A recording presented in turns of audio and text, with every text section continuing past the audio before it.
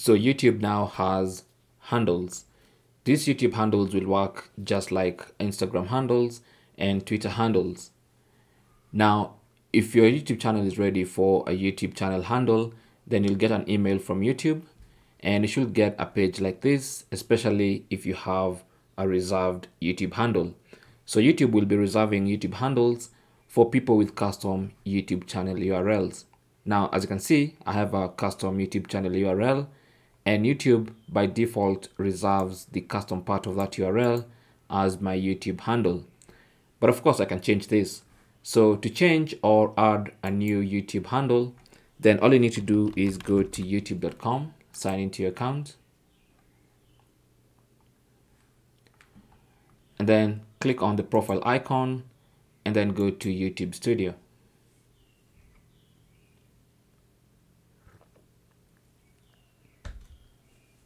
On the YouTube Studio homepage, go to the left hand side panel and then click on customization and then click on basic info.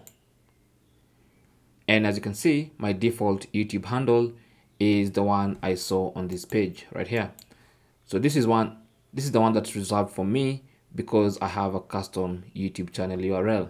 But of course, I can change this to any other YouTube channel handle that I want.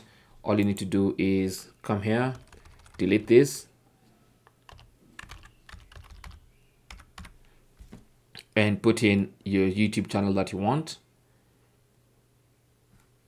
And if it's available, you should see this check mark on the right hand side saying handle available. If you put something that's not available,